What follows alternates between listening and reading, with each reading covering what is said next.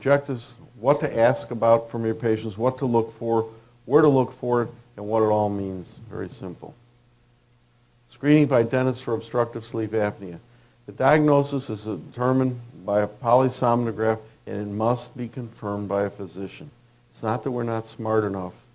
It's that's the law under which we practice. And so we're going to talk about an introduction of sleep disordered breathing and we're going to define it.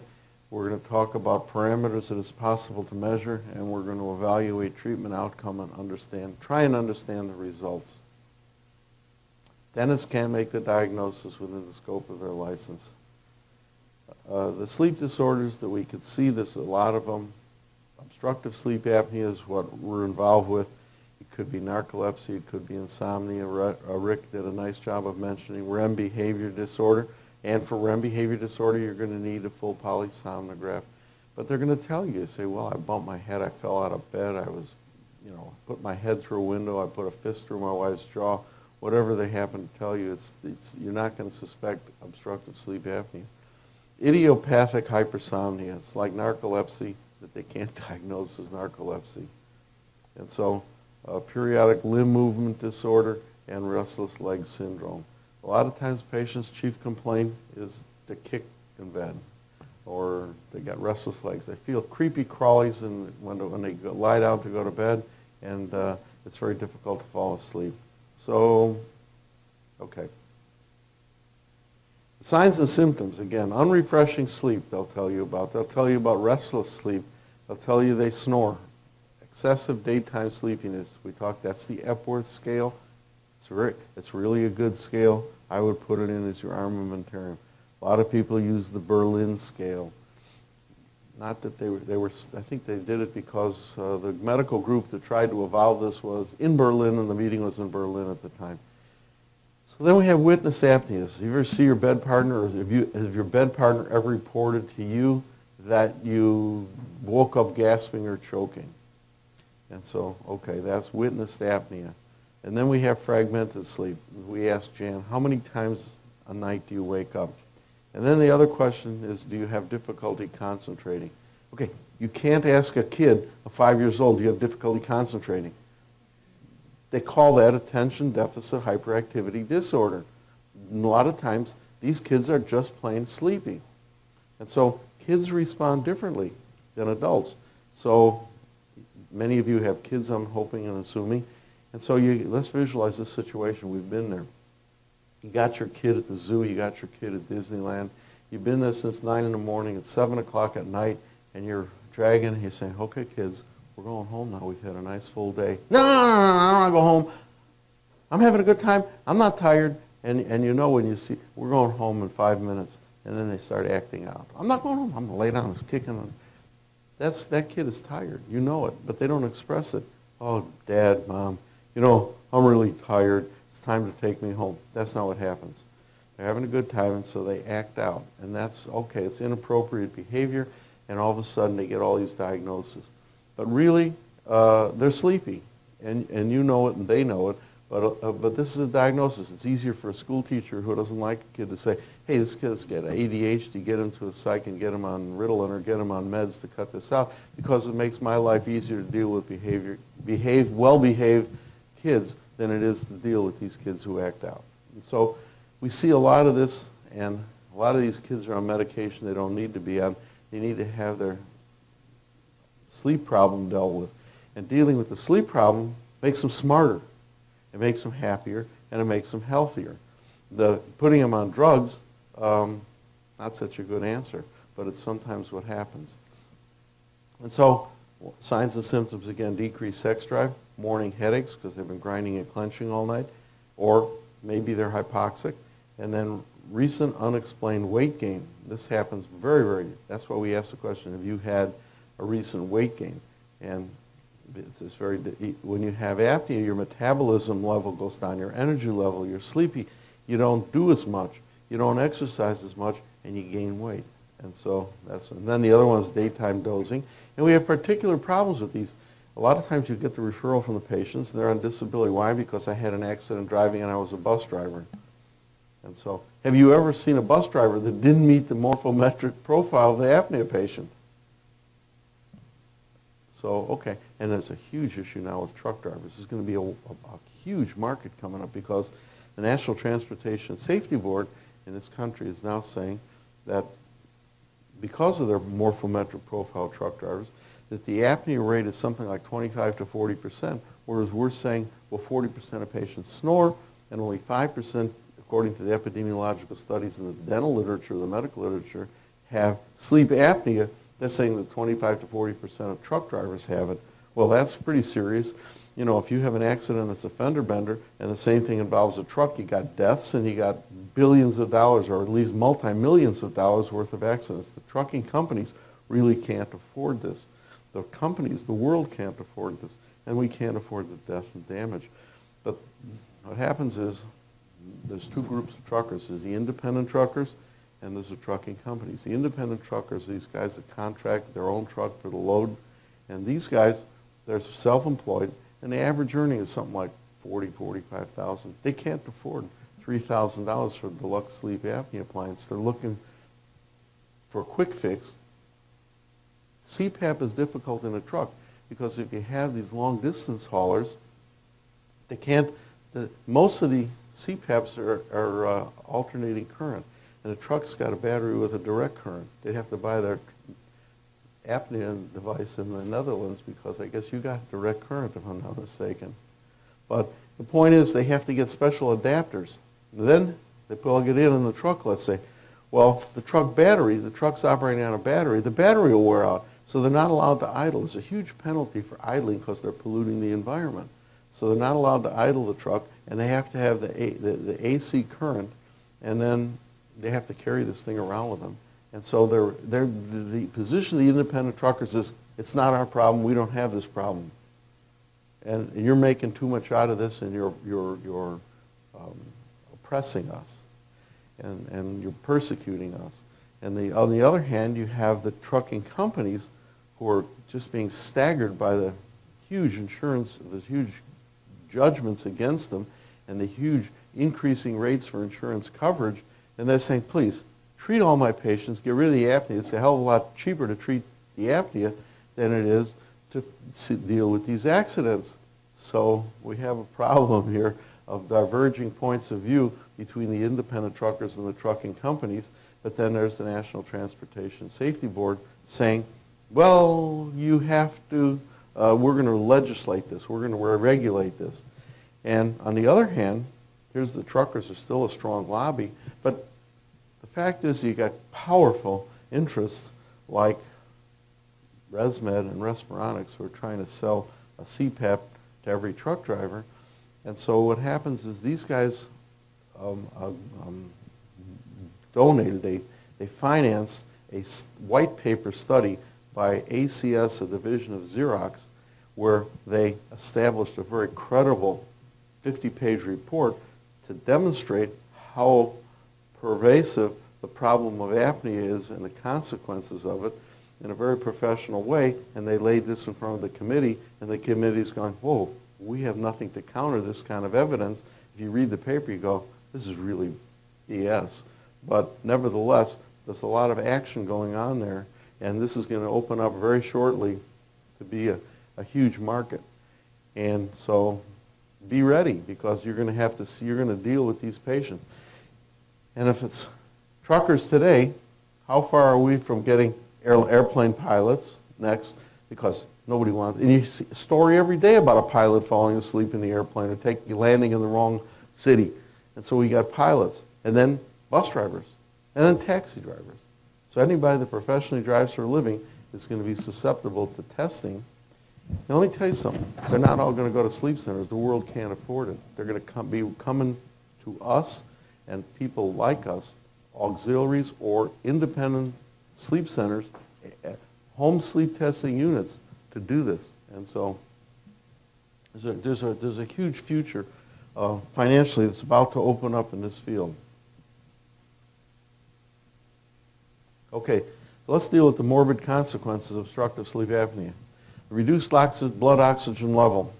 And what happened here? I had a, here it is. So this is a pulse oximeter we keep in the office. And um, so if you put this on your finger, you push the button, it goes on and tells you what your blood oxygen is. And so it's a very nice tool. Good, good, good. I'm not sleeping. My blood oxygen looks like it's um, pulse oximeter 98. Just hit 100. That's pretty good. So if you want to pass it, you can test that, and you can see where your, what your blood oxygen is. But this is important. This is important because you're going to see one of the things you will see when these studies come back, when they're sleeping, you're going to see a lot of, well, he showed you yesterday. He said they would call a code blue if these people were in the hospital. They would, in intensive care, they would be getting resuscitated for what's happening in a normal night's sleep. So, okay, these patients are sleeping and they're having these apneas, and when they're having these apneas, um, their uh, uh, blood oxygen is way low, and so their body metabolism is down. But the other thing is, does that mean that these people are having low blood oxygen during the day? Yes. Sit the patient down, do an exam, and take this. You'd be surprised how many people's blood oxygen is below 95. This is interesting to know. This, that's your screening. Maybe say, oh, look at that, 95. Do you snore? Yeah, I snore. No, I don't snore, whatever. But the point is, this, this thing is like 20 bucks in Amazon. So why not? Why not? Okay, so reduce blood oxygen level, increase carbon dioxide level. It's actually decreased carbon dioxide level. I'll have to make that note. Acidosis, uh, alkalosis, nocturia. Again, nocturia. So when you have low carbon dioxide and you have smooth muscle spasm and your bladder contracts, you feel like you got to pee. So you get up to pee in the middle of the night. So you ask these patients, how many times do you get up to pee? Oh, four or five times. Oh, wait a second. Hypocapnia, low blood oxygen, you snore? And I'm ready, you're on to the history. And so this stuff is very interesting. Frequent sleep arousals. Hypertension. When they're not breathing, they're trying, their bodies are trying harder to pump that oxygen, and so you have hypertension. And you have depression. And you have increased risk for diabetes, type 2 diabetes, and increased risk of heart attack. These patients who have uh, obstructive sleep apnea have five times the risk of heart attack or stroke, and they have increased risk of motor vehicle accidents. This is not something you want to leave untreated when you, you have the possibility of very benignly, non-invasively, and painlessly treating these conditions. Okay, what are the predisposing factors? And again, they're simply predisposing factors. Maybe there's a low correlation but they all don't correlate. Remember, it's only a PSG. But here's what we see. Middle age, overweight or obese, male gender, ethnicity, usually they're blacks, Latinos. And it's interesting because within this ethnicity, uh, people uh, uh from Far East Asians um, actually don't have a higher rate. But when they have it, they suffer more. So the symptoms are way worse. And so it's, it, it's far more serious. And, and, so when you have this in, in again, blacks and Latinos have it more, but um, we'll call them Asians, have it um, more severely when they have it. they have reduced airway dimensions. A lot of them smoke, and a lot of them um, excessive alcohol use. And then a lot of them are using hypnotics and sedatives. And so it's almost self-defeating because you ask these patients, they say, oh, I can't sleep, so I take blah, blah, blah to sleep. I take Ambien to sleep. Well, Ambien is not a respiratory depressant, but, some, but you got to look. That's why we said Gloria looks up all the drugs they're on because you'd be surprised how many of these are respiratory, uh, are respiratory depressors. And so, wait a minute, this is almost self-defeating. You want to keep them breathing at night, but they're on respiratory depressants? Hmm, okay. And, and, and it, this is all interesting stuff. It's, it's, it's easier to make them an oral appliance than it is to get these physicians to take them off the drugs a lot of times. But hey, uh, you got to do what you got to do and what you can. So hypothyroid, a lot of these patients are hypothyroids, and a lot of, a lot of them are supine sleepers. Okay. And a dentist may only treat a patient for obstructive sleep apnea using an oral appliance if They're referred by an MD qualified to make the diagnosis. They're CPAP intolerant. The patient specifically refuses CPAP. And, and again, dentists have virtually no basis to rule out a patient in any of these categories. And so when you get these referrals, try not to rule them out. Okay, by doing a superlative screening exam that we're capable of doing, you acknowledge yourself as an outstanding clinician. You recognize that obstructive sleep apnea is a more complex problem than just lowering the AHI. No one can say that your omission resulted in harm to the patient. You can evaluate the effects of treatment on the whole person. We're talking about Lee and Mike uh, being active directors on the uh, Academy of Oral Systemic Health. This is the way we're, we're really this is what we all are about. They just declare it uh, as being as important as they believe it is, which is primo. Uh, you help your patient to achieve excellent systemic health, and you establish yourself as a referrer. The more you're seeing, the more you're going to refer. And so it changes the whole thing. Typically, you go to an AADSM meeting, and the docs are at this meeting, and they go home and they make a phone call. They call three sleep centers. Can I come and talk to you? Sure. And say, okay, I'd like you to send me your sleep patients. Well, probably they're about the 10th dentist that's done this. And this guy's thinking to himself anyway, these oral appliances are no damn good. And then they, they own the DME, so they only make money on this. It's very competitive. The government insurance regulates the rates for the PSG. They're not making their money on the PSG. They're making their money by selling of CPAPs. And so 98% of the patients that get the referral from these guys are going to walk out with a CPAP. But on the other hand, there's other referral sources. But when you are the referrer, the impetus changes. So you say, well, I'm going to send you back to your primary. Who's your primary? I'm going to call the guy up. I'm going to give him one of Lee Ostler's books. I'm going to tell him how good I am. I want to work with the guy. Fine. With the sleep center, it, these guys typically have an attitude that's malignant because they want to do the testing. So they don't really care. It's not important to them that you do a metabite baseline study. When you put the appliance in the mouth, they want to get them back for the testing. So they get them back three weeks later and they test. They say, this thing isn't working so hot. Go back and get it adjusted. They go back and get it adjusted and you do a couple of turns. Now they want them back again for the next test. And so in their perfect world, they would test, you know, half a dozen times. Well, each test is going to run between seven and fifteen hundred dollars, maybe more. And so the patients are going to get impatient with this kind of testing. They want what we have to offer. They want to go take this thing home, sleep in their home. They don't want to have to go to a sleep center and sleep. And so they want the comfort, the convenience. They don't mind. I've had, again, I had patients, one patient, we worked hard with her. 12 times we did studies she's very grateful, appreciative, and becomes a referrer. The point is when you go to the sleep center and the guy says, oh, okay, and the patient doesn't come back for that third or fourth follow-up study, then they say, ah, these appliances aren't any good. I don't, I don't really think, I want to give them a CPAP and get this thing done. CPAP is the gold standard. CPAP works. If you turn the pressure high enough in a one-night study and you Velcro the head shut, it's going to work. So they think, I got the keys to the kingdom. I, I know I can cure the problem. The patient can take it home, stick it under the bed, and not use it. That's, doesn't make a damn bit of difference to them. And so we have a different approach. We say, well, we got to work with people. We want the appliance in the mouth. We want them comfortable. We want them sleeping. We want them breathing better. And we're willing to spend the face time with them. And we'll work on all these other contingencies. So we offer a way more complex thing.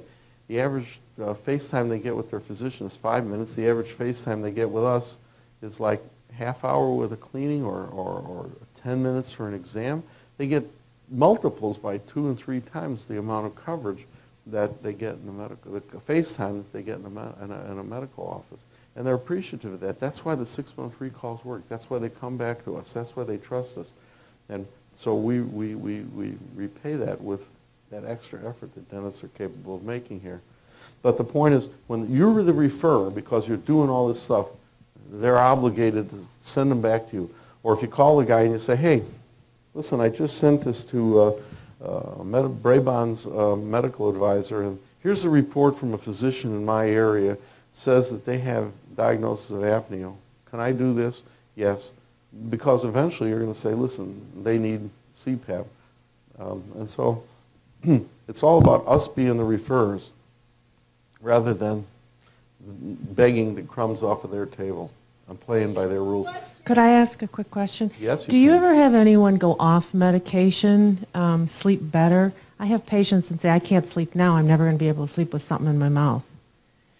I mean, they does it? can't sleep with something in their mouth? They they say they have sleep issues to begin with. They're taking the Ambien to get to sleep, and they don't even, they don't want to try anything in their mouth. They say I, that'll never work. So do do you get off medication? I don't take them off medications. I would work with the physician to. But typically, um, I have had patients who um, they need Ambien to get to bed, and so I make them an appliance, and they stay on the Ambien. Mean, they're afraid to get off the Ambien, even though I could say to them, look at your AHI went from 35 to 4, and you don't have apnea anymore. They're- But okay, but I won't sleep. I, I, in other words, they're afraid. They're, there's a certain drug dependence. So I, I don't mess with that. I just let them stay on it if they want. I mean, again, I'm not the primary. I'm the dentist. So, but the idea, yeah, you're going to have patients who will refuse the appliance. I'm a gagger. I can't put anything in my mouth. So what can you do? I don't, I, I, what I, here's what I don't do. I don't give them a money back tr- trial, guaranteed trial. If it doesn't work, I'll give you your money back. No, no, I don't do that. So I'll do my best. I'll work with you. And again, um, I, I, you ever have a patient uh, gag in the chair? So my ethological study on patients gagging in the chair is they're gagging in the chair because they're mouth breathers and the water's building up and they need to breathe. So they gag. It's a gag is a, a reflex response to having the nose that doesn't work and water building up in the throat. So here's the Moses theory. I put a breathe right on the nose of a gagger in the dental chair. If I see a patient gagging in the dental chair, stick a breathe right on the nose. Okay. So way back when I was a kid, I decided that it would be the culminating event in my career if I could get an article in the ADA journal. So one day I saw that they had clinical tips, and I sent that idea in as a clinical tip. And they so the listen to this. The ADA journal sent the clinical tip to the referees. So the I got three refereed statements as a result of my clinical tip. And one of the referees said, if you really want legitimacy to this tip, which we're going to put in, we think it's a neat tip, uh, you ought to do a study. So I said, thought to myself, yeah, I'll do the study. So they published the clinical tip, and um, should I tell them the story? I put a picture of a breathe right on the nose, and it was it was Karen's nose. And so the referee sent it back. They said, we can't publish. That nose has too much hair on it. So I went and I found a patient had no hair on their nose, big, nice, shiny nose. And we sent it back in and I put it in. It was an associate of mine, actually. But the funny thing was, anyway, so they, so they published that and I did a study. And the study was interesting because it's, it, it's, it, it didn't, the data didn't show what I thought it would. So what the data did show, which got published as a paper, a scientific paper finally, was that if a patient comes in the dental office and you put a breathe right on the nose, it is expected that they will leave the office with a higher blood oxygen than they walked in. If a patient comes in and you don't, it is to be expected that at the end of a dental procedure, even if it's a cleaning or an all-day crown and bridge procedure, they will walk out with a lower blood oxygen than they walked in. So does that mean we have to use, uh, um, that was the next the letter to the editor, do- does that mean we have to use a breathe right on every patient? No, because just because they walked out with a lower doesn't mean they're in danger of, like, I didn't know about sleep apnea in those days. Does that mean that they're going to, you know, code blue when they walk out of the, no, it's not that serious. It's not, it was statistically significant difference, but it wasn't clinically significant enough that they should all walk, you know, you should put a breathe right on every single patient. But it did. And so It's amazing sometimes when you can think of when you do this. But okay, so the question with gagging, again, uh, I think gagging has to do with mouth breathing. And so uh, what can you do? Um, we've tried that. We've put it, we said, well, try a breathe right and, and so on. And whatever works. If they, there are patients, I'm sure that you can't do it. They gag too bad. So you don't do it on everybody. Okay. Medical history. Letter of referral and a diagnosis of medical necessity. The, medi- the letter of referral says, please treat my patients for obstructive sleep apnea. In my opinion, this treatment that you offer, oral appliance, is a medical necessity. That, that seems to be the trump card. And then they need a previous sleep study, and you want a copy of that when you send in the form. And then they want a comprehensive written history uh, is, is important too, that they have some comorbid symptoms. And then the other thing we have to do is to rule out acute problems. So um, you're looking at an x-ray here. We're looking at a um, patient. Um, so can we all see that um, there's an obstruction, looks like an obstruction here. So the point is, would you, what do you do? You see this patient? Um, would you make an oral appliance for this patient? Okay, the answer is no, you wouldn't make an appliance for this patient. Why wouldn't you make an appliance for this patient? Because if you have the right history, this patient is actually, was, a cleft palate. And so to keep this patient from uh, talking, to talk properly, they sewed the soft palate at the uvula to the back of the throat. And so the patient can talk properly, but you can't make this patient an oral appliance because the, the palate, soft palate is attached to the uvula. At the uvula, the soft palate is attached to the back of the throat. So you, you have to have the history. And if you don't, if you look at the x-ray without the complete history, you don't know that. But apparently that's the cleft palate. So, okay, get the history. Know what you're talking about. Know your patient. You all know this stuff. Sleep. Go back. Get a microphone to him. Alan, look in the sinus on the left side. Yes? Any comments? Yes? Looks cloudy to me. When, what about you? Is that relevant to whether you treat, uh, no, is that relevant to whether you treat the, no, to treat, whether you would treat this patient with an oral appliance? I wouldn't. No, it's not relevant. Okay. But uh, yeah, there's a lot of stuff on these. Look at the difference in the size of the, of the nasal airway on the right and the left. So what do we think is going to happen when this guy's nasal cycle flips over and he's on the left side? Is he going to be able to breathe? Is he liable to be able to snore? And that's another thing. So patients that with, the, we can't correlate the nasal cycle to a metabite test yet either. This is, again, it's complicated stuff. Okay, sleep-related history. Snoring. And snoring, we got to ask frequency of the snoring, the loudness of the snoring, and the effect on the sleep of others. They did a study at Rush University, and they found that the sleep of the uh, bed partners was affected as much, the health of the bed partners was affected as much by snoring of, the, of someone else as it was if they were the snorer. So, sleep-related history, daytime drowsiness. Uh, are, are you refreshed? You awake feeling refreshed? And uh, uh, what's the effect of your sleep on your daily activities? Can you perform your daily activities every day? Do you need a nap in mid-afternoon? Do you need a nap at any time of the day? Do you, have, do you noticing any cognitive impairment? And do you have a history of motor vehicle accidents or near misses?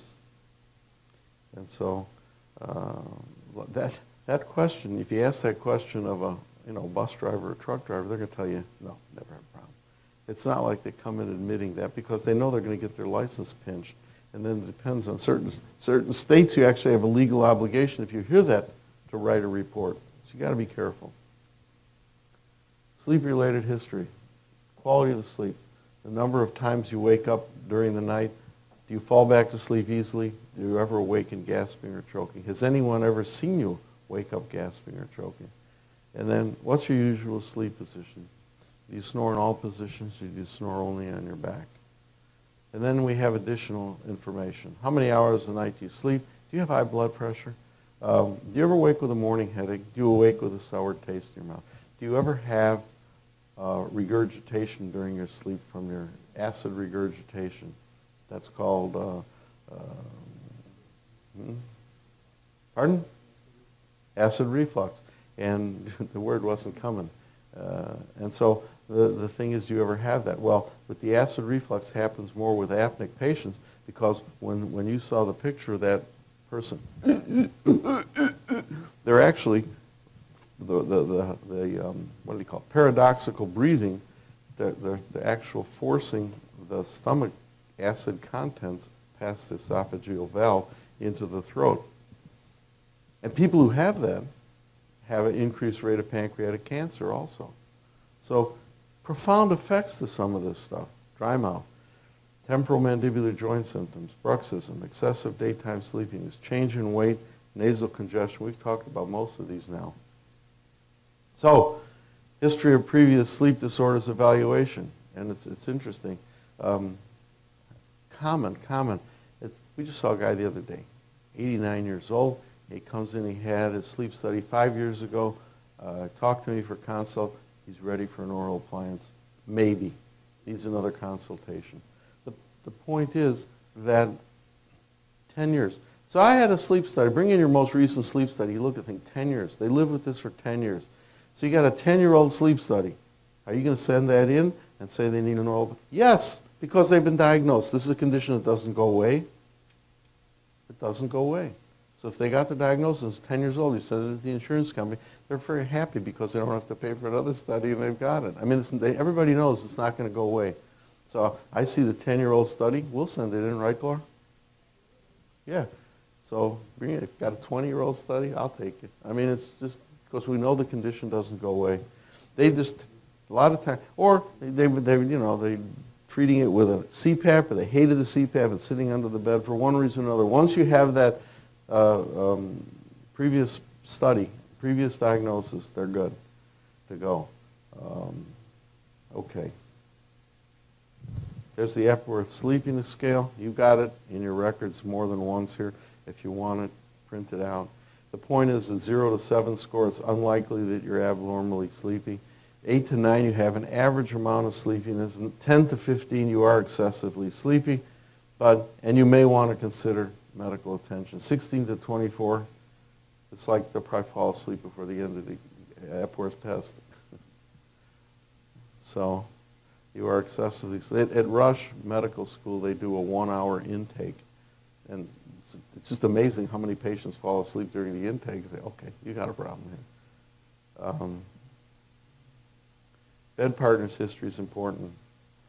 Do they have excessive movement during their sleep?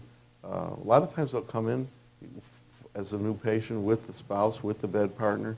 And so you, you take the history from both. Never let them sit in the waiting room if you can because you can get valuable information from the sleep partner. So excessive movement during sleep, snoring, cessation of breathing. Do they ever stop breathing? Do you ever catch them gasping for air? Do you hear them grinding their teeth? And then Gloria's been running around measuring necks all weekend. And so the point is neck size is important. There is a correlation.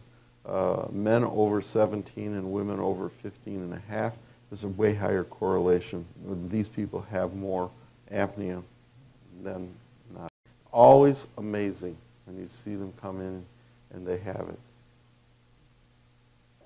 Patient examination. So we do a TMJ. You saw how we did a TMJ. We palpate lateral to the joint.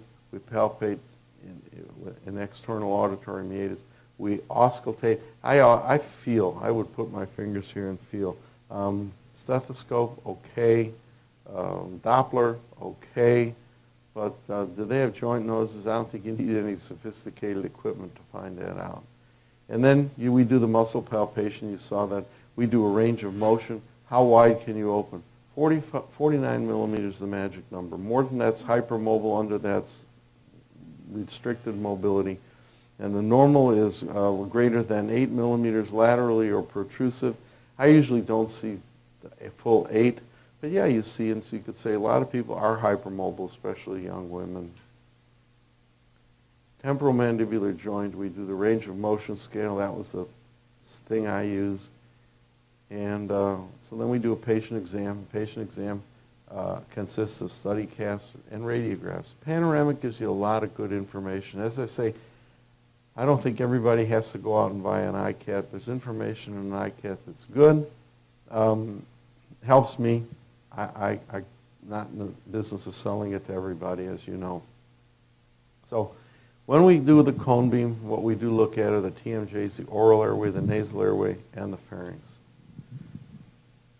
An apneic event, we said, is created by um, two things, the muscle flaccidity, the negative pressure, or a combination of both. And we have muscle fatigue figuring into this. And certainly the muscle fatigue can result from clenching with, and then central nervous system misfiring, in coordination, pulmonary diseases and neuromuscular diseases. You're obviously going to know this when they come in if they, you know, have these problems. Um, so in the tonsillar grading score, when you see a four, that they call those kissing tonsils.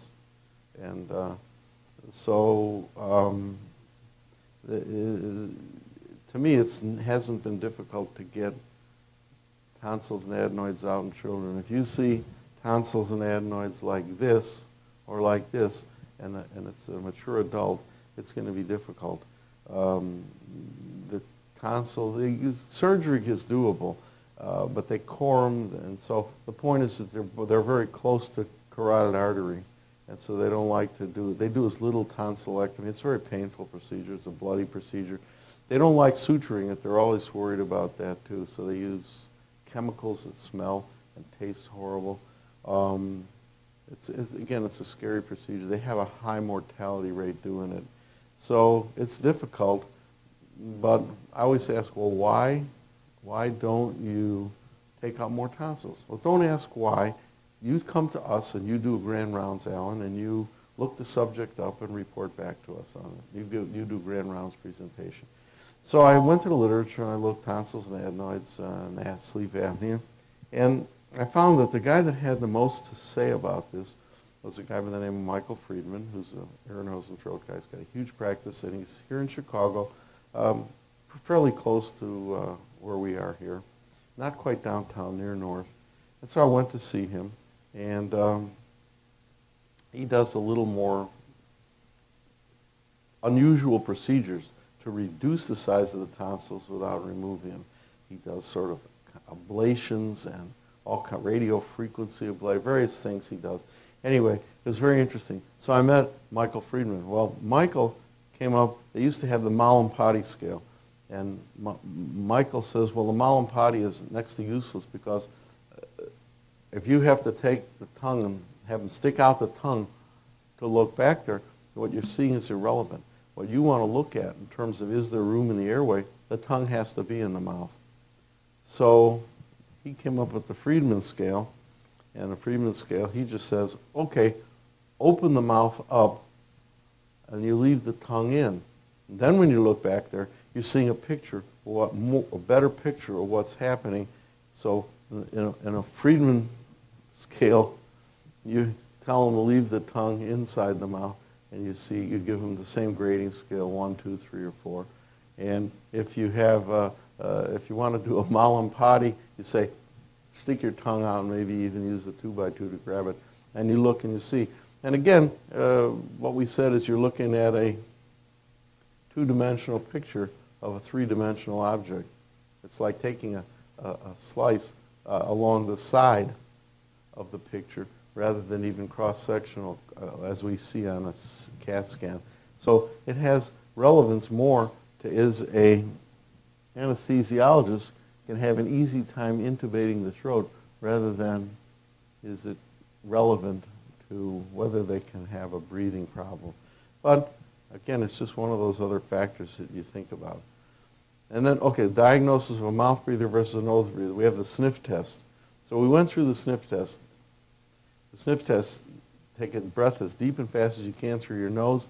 If the nares constrict, there's nasally obstructed breathing. And then you have a situation like this. Take a breath as deep and fast as you can through your nose. Whoops, unilateral obstruction problem.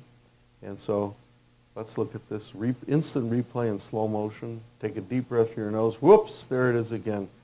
And so the point that's interesting here is when you look at this patient, you're seeing exactly what you expect to see. What looks like edge to edge or slight overlap, and look at the side that's got the nasally obstructed breathing, was the side with a crossbite.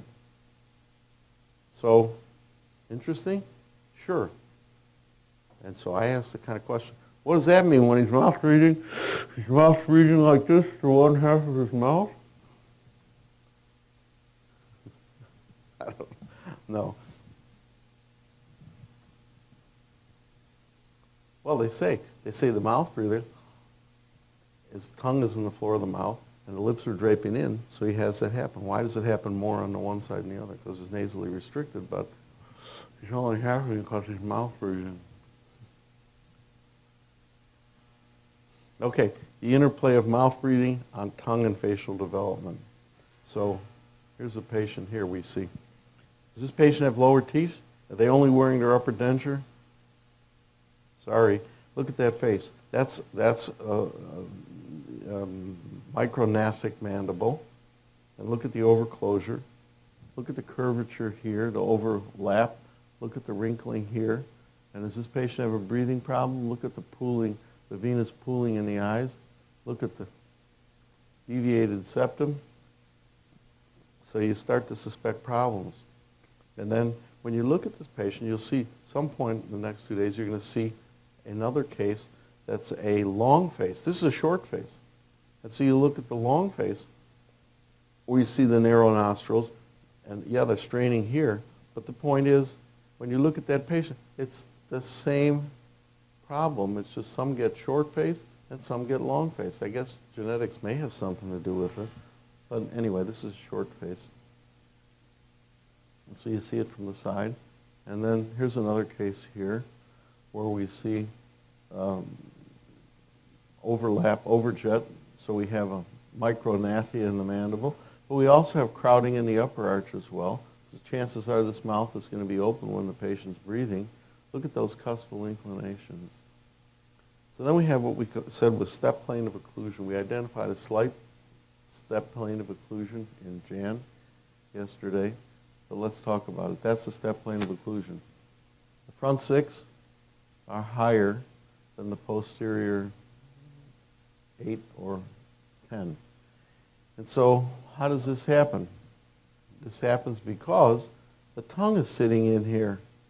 And so this is a lateral tongue thrust dysphagia. This patient is going to see impressions of the teeth on the sides of the tongue, and they're going to swallow with their teeth apart. These teeth grew to their full genetic height. These teeth were suppressed in their vertical growth by the presence of a tongue sitting on top of them. That, that, when this patient clenches their teeth together on the back teeth, or when this patient closes in centric occlusion, there's no place for that tongue except to go back onto the airway. So these patients are going to have small airways at night that can cause apnea, but they're also going to have, with the right circumstances occurring, they're also going to have small airways during the day. Because they got to put the tongue someplace. And so look at this. This is what you see. What goes into this space? The tongue. The tongue goes in there. There's the other side. Okay, so we do a patient exam. We look at the size of the tongue, we look for the scalloping of the tongue, the length of the soft palate, the size of the uvula, the tonsils, and we look for crowding of the oropharyngeal airway.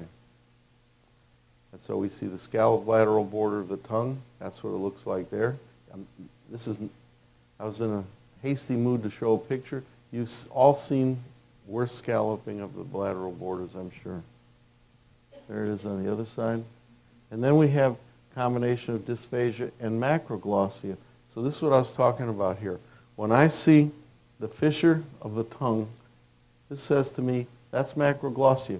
This person has to fold their tongue to get it in their mouth. And so when I see that to me, immediately I say macroglossia.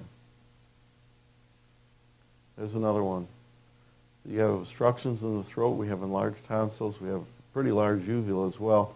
But the point is, what, what, what's really going on here?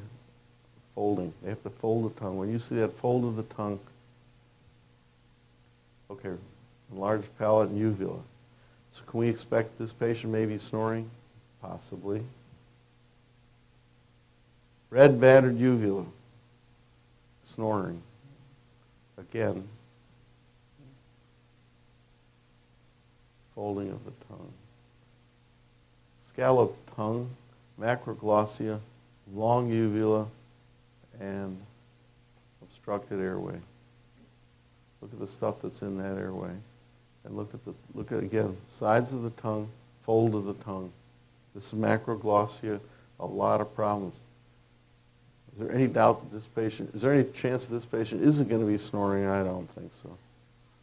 Bruxism. So we have two kinds of bruxism, tonic and clenching. This is abfractions, we all know this, and the abfractions are where the tooth actually bends, according to Gene McCoy, who published the original article out of San Francisco. And rhythmic, rhythmic is grinding, flat, worn down teeth. When you see this, that's rhythmic bruxism. When you see this, rhythmic. When you see this, rhythmic. Or this, same model. Okay, sleep bruxism, according to Gilles Lavigne, is a movement disorder of the masticatory system characterized by teeth grinding and or clenching. Palates, let's talk about palates. The roof of the mouth is the floor of the nose. A narrow palate is going to result in a narrow nose. Narrow nose is going to be obstructed nasal breathing. Look at, there's the roof of the mouth. There's the floor of the nose. The roof of the mouth is the floor of the nose. The wider the roof of the mouth, the less nasal obstruction, less nasal restrictive airway. Narrow palate means narrow nose, increased resistance to airflow.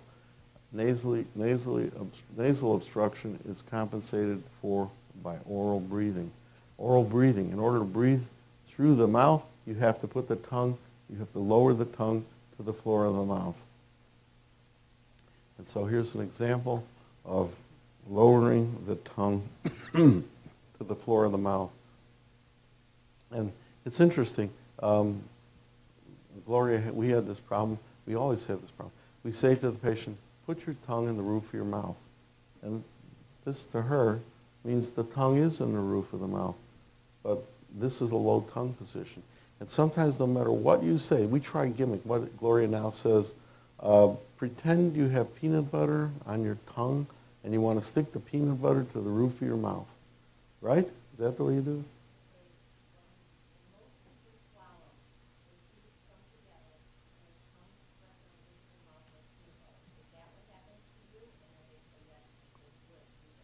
Do that. And you still get this happening. but we try our best. Because the point is when we look at this x-ray, what we want to see is well, how does the airway relate? And, and we want to know does the tongue fit in the mouth? Well, look at all the space we have in the mouth.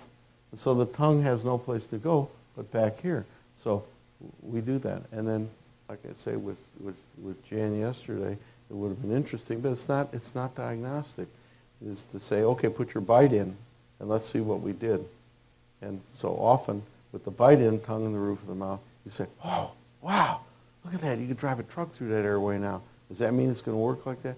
Usually. But again, we haven't discovered the Holy Grail yet. Okay. Here's another one. Oh, this is a very interesting x-ray. So low tongue position, long soft palate, reduced airway, severe curvature of the neck. So here's a guy, and he comes in, and he's got apnea. So you could think, well, maybe an oral appliance is going to help. But then again, it's not the tongue dropping back, it's the airway curving in the spinal column, impinging on the airway. This is Irv Kate. And so it's, it's, it's interesting because he's tried oral appliances and they don't work. And so why didn't they work? His CPAP's the only answer for him. Because the curvature is such here, then Look at that. It's not even macroglossia. It's impingement of the spinal column and the airway. But the curvature is huge. And you're going to see these people that have that curvature. And so you have to look for it. Look at that curvature here. That's, all, that's, a, that's a cool giveaway. And then this looks like, oh, is that so terrible? Look at that. That's having to breathe through a drinking straw. Okay. So we see this here. Uh, low tongue position, reduced airway space. But again, it looks like it's small here, but you see the tongue that low, and you could put the tongue, and they could put the tongue up there. What it's about is, when you have this narrow palate, the tongue doesn't always fit up there. And so this may be a truer picture of what you get. And so now you say, oh, well, maybe they have this reduced because of the uh, narrow palate. And then, but look at, look at that, still a tough airway to breathe through because it's so small. Okay, and here's another one. Look at the size of that airway.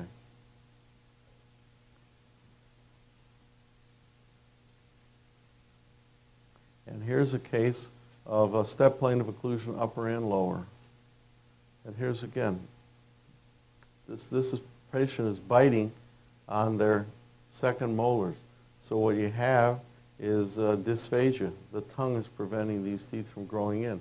Tongue doesn't, not enough room in the mouth for the tongue. It has to go between the teeth.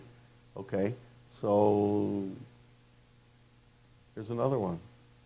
Tongue can't fit in the mouth. Mouth breather. Cheeks are draping in, mouth is open, low tongue position. Low tongue position. Same thing again. Look at all the different varieties of form that comes in. Look, here's a guy here who's taking a panoramic x-ray, and look at, he's biting on his back teeth. You can't put a tab in the front of his mouth. But also, okay, and then we saw another one, thumb or digit sucking versus propping. Proppers are mouth breathers, suckers are nose breathers. Here's the thing. You have two different things. So you have a kid like this. Their neck has got circumoral um, surrounding of the thumb. That kid's sucking the thumb, and you're going to see a welt on the thumb here where the kid sucks the thumb. And that kid is, in order to suck the thumb, he has to be nose breathing. I don't see that that's so terrible. I'd rather not have it. But that's nipple substitute. Okay, mouth is shut. Now, here's the one I'm worried about. Like. He's got his blanket up here, or she, and here a, and thumb is a prop to keep the mouth open. And so you can only see chapped finger, real badly chapped, uh, digital uh, finger to palm. And uh, the point is you'll see this kid. And so uh, maybe I here. There you go. This is thumb propping. And this is thumb sucking. Look at the way that thumb is. This kid is breathing through the nose. This kid is breathing through the mouth. So, or this kid's faking it maybe. But the point is, this kid's face is too pretty to be a long face or short face. Okay, here's what it looks like when you see it. So now you see these patients as an adult. Okay? Insert, they should come with a manual. Insert thumb or finger here. Right there. And so, what do you see this here? This maxillary step plane of occlusion. This, they pulled that out, or pushed the lower in, and we have a, okay, here, thumb propping. Look at that. You see it. And, and so it's a cast on an adult. What do you think happened to this adult?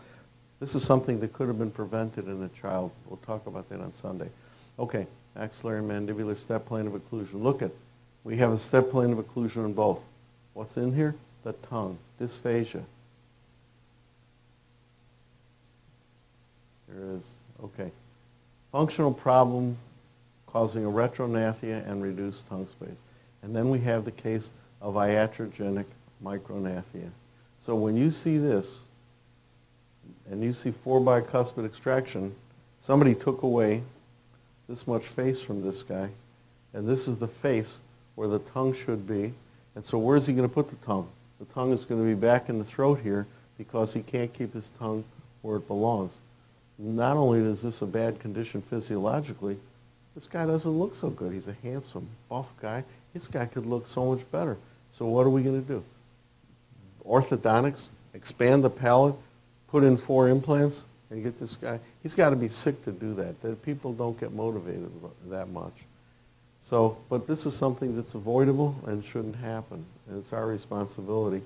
It's our mandate not to do it, and to see that it doesn't get done.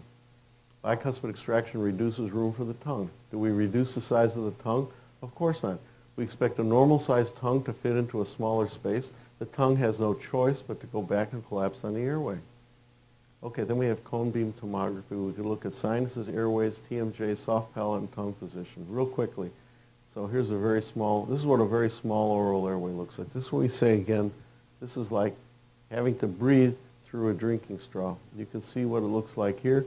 And then in addition to that, you can also see the presence of tonsils in the adult. Bear in mind that if you see this, this is a very small airway. And then here's a very large airway. Look at the size of, by comparison of that airway here, wide open, wide open, epiglottis, wide open, uvula, palatoglossal fold. And again, we look at it here. Tonsils. Small airway. Wow, um, okay. When we take these x-rays, sometimes we used to take them with a tab in there so we see what the condyles look like beautifully. Then I decided really the condyle isn't important to look at. I, I converted from a TMJ to a sleep doc.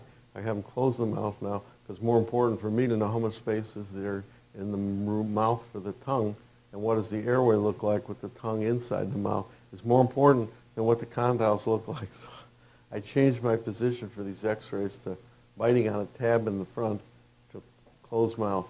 And so this is an older one where he had the closed mouth. But again, look at that. It's tough to breathe through that. Can you imagine this patient falling asleep, little flaccidity, boom, collapse. Look at the size of that airway. Very small. And here's a normal size airway. And look at, in that normal size airway, look at, look where we are. We're, but look at this, look at this tonsils. There's no wonder what they can do. But still not bad because of how wide it is. And it, Richard, this is the same old, same old. What are the consequences of that? You could ask an ENT what the consequences of that. And they don't. Sometimes they bother them, sometimes they don't. Are these infected? Who knows? Uh, do these have to be removed? Who knows? So if a patient says, oh, I have horrible sinus problems, say yes, go see your ENT. Nah, I don't have any sinus problems. Okay. But sometimes you see these like this.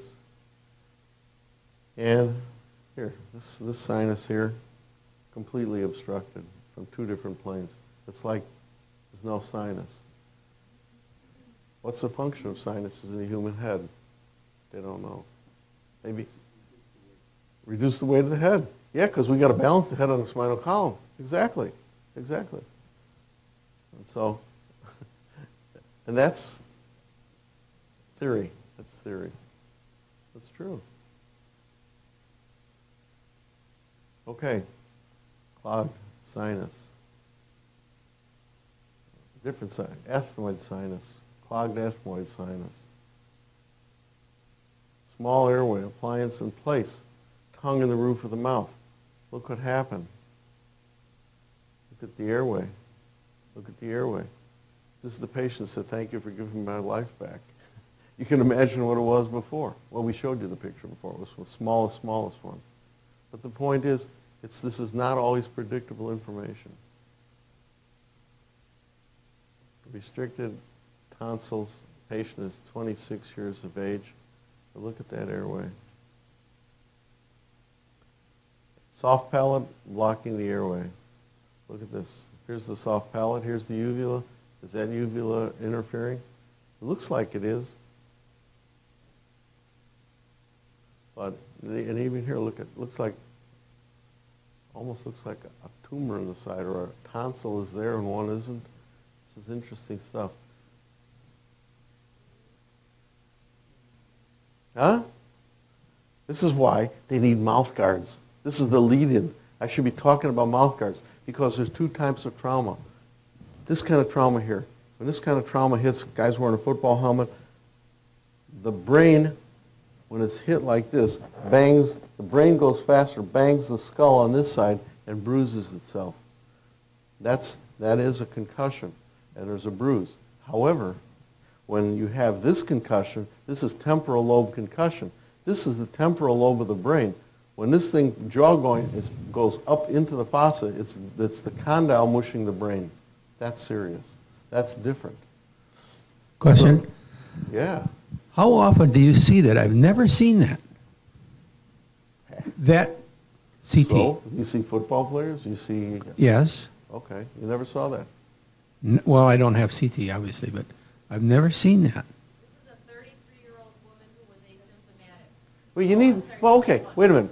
Just because, I, I don't want to denigrate your statement, but if you don't have the CT, how are you going to see it? But this is from bruxism or from No. trauma? Trauma. That's, I would, unequivocally trauma. Okay. How else does that happen? Often.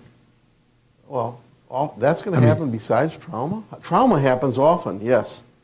I don't see that that can happen from anything but trauma. We got a disc up there. Right. The disc has to get knocked out of place, and then the jaw has to go into the brain and do the brain damage. Okay, and so that's that's that's the um, so that's the reason why we ta- to me when you talk about concussion protection with a mouth guard, that's what we're talking about. And there's two types of trauma. There's two types of concussions: temporal lobe trauma, where the condyle goes in and mushes the brain through the top of the tempor- the, the glenoid fossa. And the glenoid fossa here, look at it. It's paper thin. This can happen. Yes, you got something, Richard? Yeah, but it's paper thin. It's, it's less than half a millimeter Okay, under normal circumstances. okay. And so, but the point here is that this happens, and this is, this is most likely the event of trauma. And because she was asymptomatic, doesn't, we don't know when this happened either. But the point is, this is why we talk about preventive mouthpieces. The idea that these guys are wearing helmets and that they get hit like this, there's nothing we could do to get them hit like this. They could put what? Airbag in? They could put, they could put an airbag in there, in the helmet, but it's not the airbag that's going to prevent the brain from hitting the skull on the opposite side. That's going to happen. And so the thing, the thing that they're talking about now that might do that is they're talking about putting in a, a, a, a transdu, uh, what do they call it, Rick? A trans, uh, a, a, um, transducer, impact transducer, so that they can measure the size of the impact, and then if a, if they can, so a guy gets in a traumatic thing in a NFL game, and they take him out and they say, let me see the helmet, and they put the helmet on a on a, uh, a, a viewer or a special machine, and they read the impact of the trauma. They say, "Oh, that you you're out. You had a concussion," and that may work. But um, the other thing that we're talking about is putting one of those in a mouthpiece, so you can measure the impact of the jaw. But uh, yeah, these have a role. But this here, that's it's this trauma here. And so you take a football player, take and, and, and they're wearing a helmet. What's their helmet doing? That helmet's got a chin strap like iron. If they're not wearing their mouthpiece, that helmet is setting them up for that trauma. That's setting them up for that. When they have that chin concussion, and, and what are the symptoms? Those are very, very specific symptoms. Those symptoms are when they say, I got my bell rung. I saw stars. I saw stars, I got my bell rung. Start looking for this. Because they're doing, that's serious brain damage. Yes, Richard. This is the guy that, this is the player, when you see that, that's the one whose careers, two or three of these in their careers, you know, I mean, these are the guys retiring when they're 28 instead of 36, because they're not functioning. These are the guys committing suicide. I mean, this is different stuff. The literature says that most of the time, that bruise goes away. They can see the bruise on a PET scan, and it goes away. That doesn't mean it doesn't do damage. Yes, sir. Superior portion of the glenoid fossa, will it heal? I mean, you unload it, and will it heal? Will it come back, the bone? I don't know. What do you think? I think it has potential. Okay. Eh, The the reason I hesitate is because she had no, she absolutely denied a history of trauma. So I'm thinking, okay, you fell out of the wagon when you were seven years old, eight years old. Okay, But it's not like your boyfriend hit you three weeks ago in the chin and banged your brain and your condyle into your brain. She's in total denial of that. So I say, okay, all right. So, uh, and again, so we're now talking about pro- professional mouthpieces and how to fit it. And so, here's the message, take-home message here. The take-home message is that an ideal mouth guard can increase performance. I'm reading the sign off the back there. It, it helps the, the user to breathe better. It offers concussion protection. It's comfortable. You can talk with the mouthpiece in place, and you can drink with the mouthpiece in place. And so this is where mouthpieces are going. The mouthpiece is going to look just like that. And the fact is that what I'm saying to you is the most logical way, there's a brochure in there, in your, in your holder, folder, the most logical way to take the, to record the maxillomandibular relationship for that device is exactly what we did for the Moses. So what I'm hoping is the take-home message is you got more income generating possibilities if you could think about doing mouthpieces on athletes to prevent concussion, to increase performance, to increase breathing. We're increasing performance. And are we increasing neurological performance? Of course we are, because we get facilitation of the whole nervous system. And so that's uh, the, the, the simple message. And now, as a result of that little discussion that I almost forgot, thank you, Gloria, you have double the income producing properties from the lesson you got here on how to record the bite. So Modern is making these right now, but they're pretty expensive, and I'm, so I'm looking for a lab. I'm very close to finding a lab. Modern, this Boma charges 220 for that, and uh, Modern is going to. I'm, I'm, negotiating with a lab that's looking at about 110. So as soon as I do that, if you email me or if you, I got your emails, I'll, I'll let you know if you have any interest in doing that. Um, and, and the big, their big issue now is we're working on color. And so if you want to see what we're doing for color, and if you want to see what they look like, um, this is the athletic mouth guard. We got one here in green. We got a couple in red and blue up there.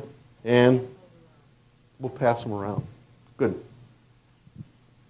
Okay.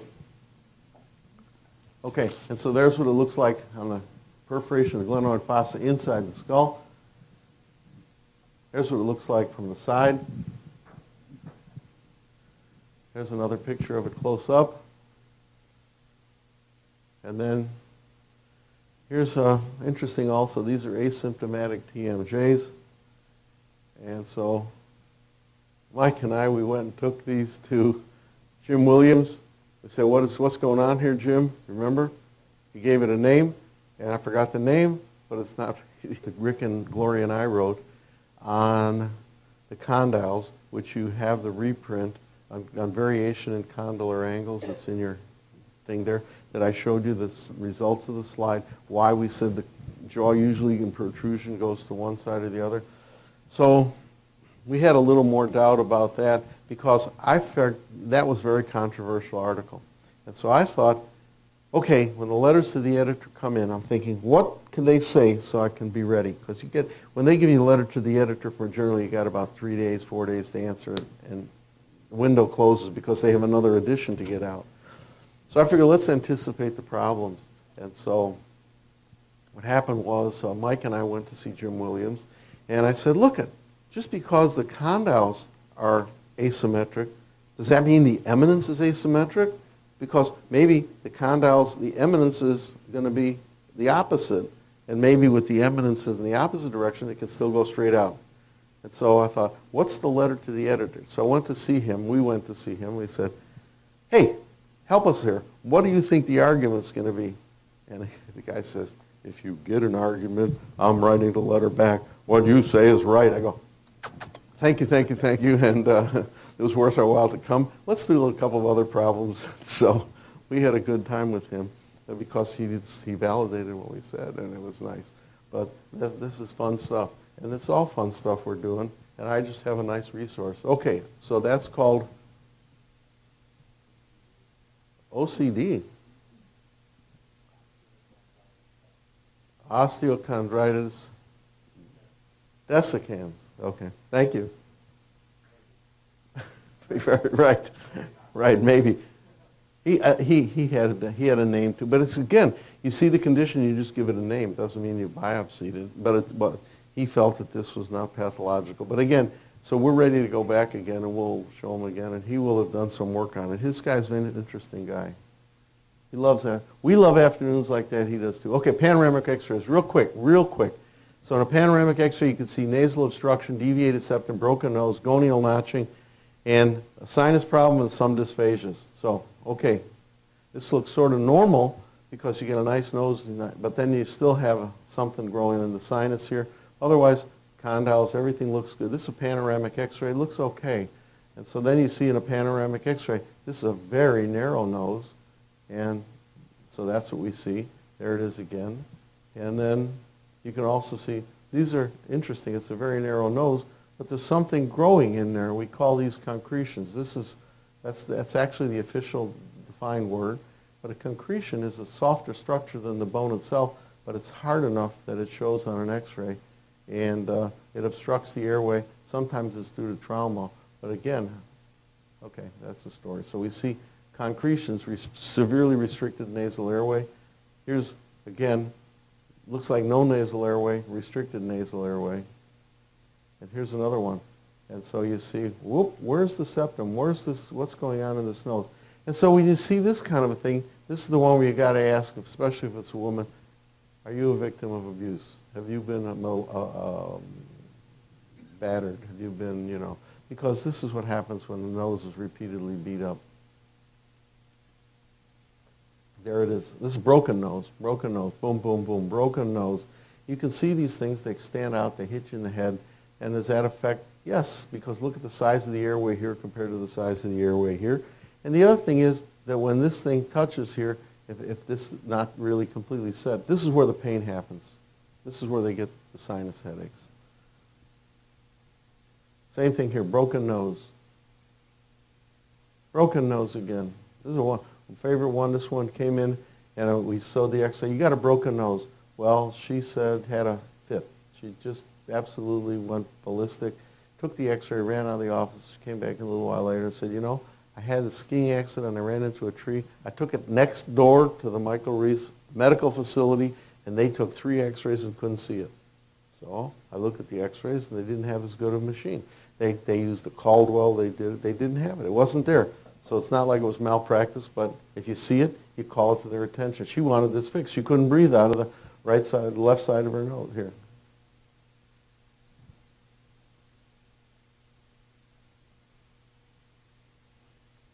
Yeah, she couldn't breathe out of the left side of her nose. Bothered her tremendously. Okay, broken nose and concretions.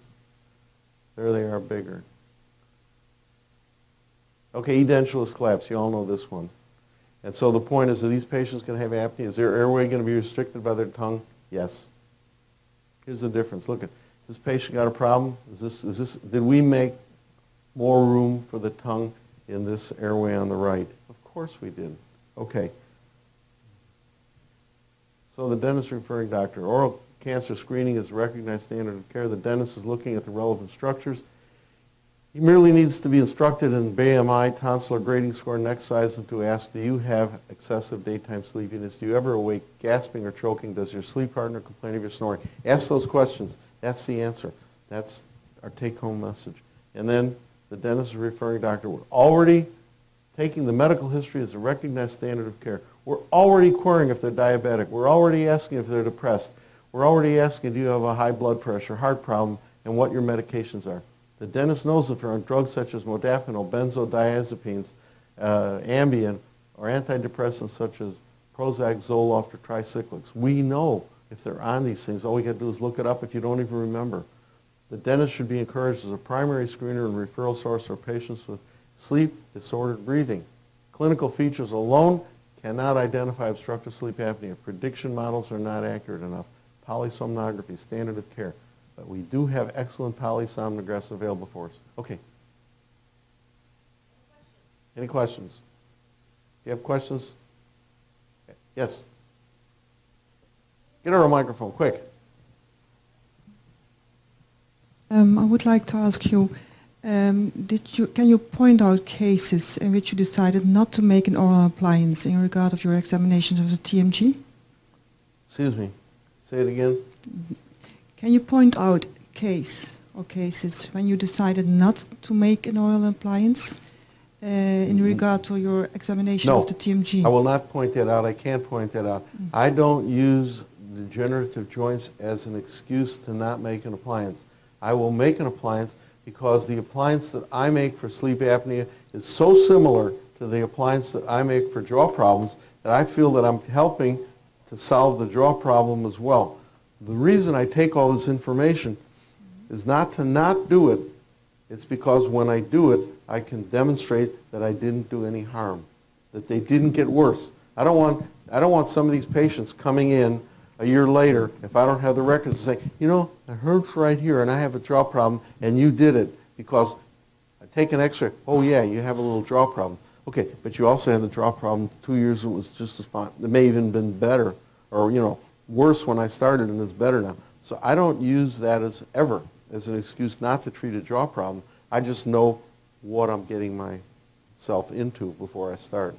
I would treat that as a, what do I treat a jaw problem or how do I bill it on insurance? I'm going to bill it as a sleep problem because they pay better on insurance. If I see a TMJ case today, there's very few of them that go home without a metabite study because I, first of all, I have to know. Uh, and, and i- if I bill it, in, uh, in, okay, in the United States, if I bill it as a, a sleep problem, it's more likely to get paid. It's more important. If I bill it as a TMJ and give the impression that I overlooked a sleep problem, that's negligence. That's not appropriate standard of care. So most TMJ patients get a sleep study, a home sleep study with a metabite.